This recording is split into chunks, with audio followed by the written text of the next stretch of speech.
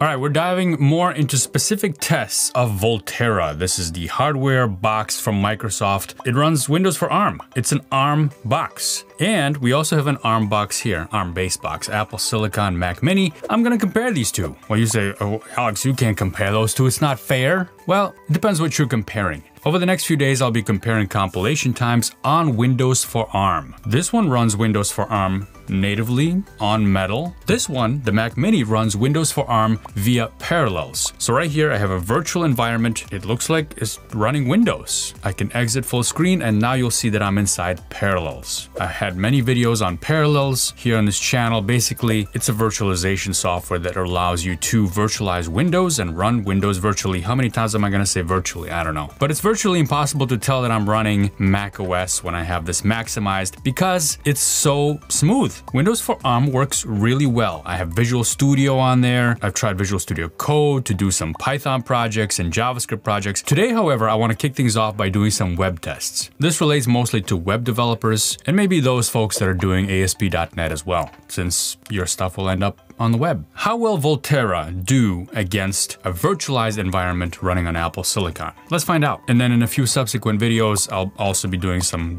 .NET compilations, Python, and so on. So do subscribe if you want to see those. Whatever the result will be, there's a couple of differences here. First of all, this is Microsoft's first ARM machine and it's geared towards developers. So the audience is a little bit different here. The Apple machine is geared towards everybody, developers and consumers, and they did have a developer kit for their Apple Silicon ecosystem come out before they released this one. This is the M1 Mac Mini with 8 gigabytes, it's the base model. They had one that they released in 2020 that was for developers and it had an A chip in it, not an M series chip, an A series chip taking from uh, the iPhones. So this is comparing two different of machines. They are both desktop machines, they're both very small. Let's get on with it, shall we? Usually I use Chrome, but today I'm gonna use Edge. And the reason for that is, well, Edge supports Windows for ARM natively, and Chrome does not. However, Edge is built on the Chromium engine, and it offers some of the same developer tools that Chrome does. So it's a really nice alternative on Windows for ARM. Now, typically I would actually record my screen through my little screen recorder there, but I can't do that now because, well, the Volterra supports three external monitors at the same time, which is cool, but the Mac Mini does not the Mac Mini only supports one monitor. So I gotta use this camera to show you the results. We're gonna kick things off with speedometer 2. And let's go. This is the fun bit with the flashing. We'll see who finishes this first. Who's it gonna be? Oh, I think the Mac Mini is a little bit ahead now. Wow, it's done. Now remember,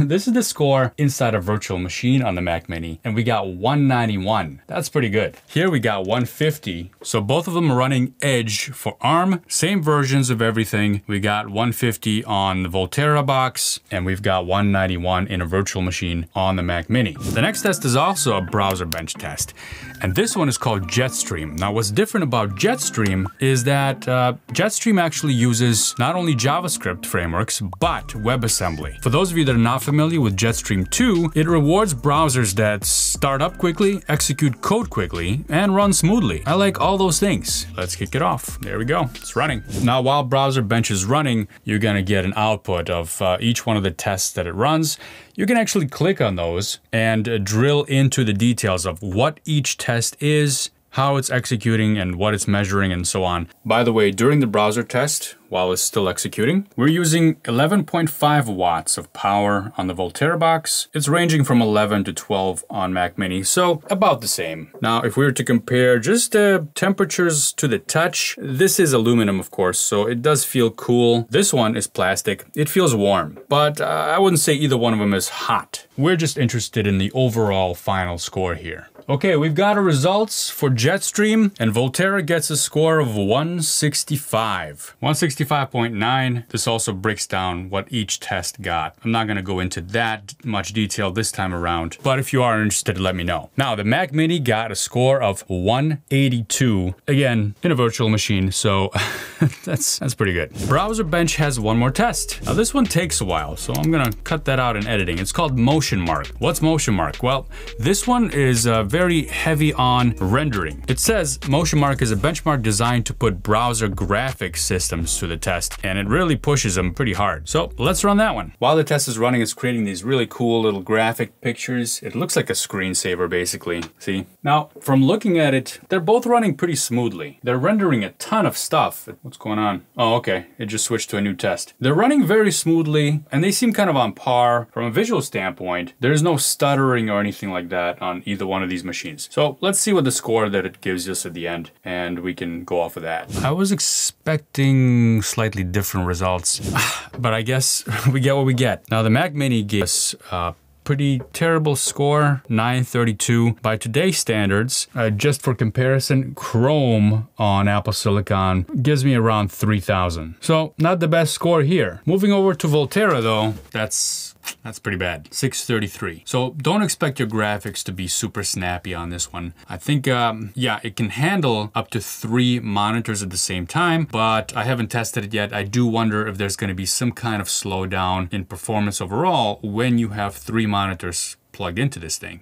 The Mac Mini, even though it did better, it will cost you a hundred bucks more than the Volterra box and you get Mac OS plus Windows for ARM if you get Parallels.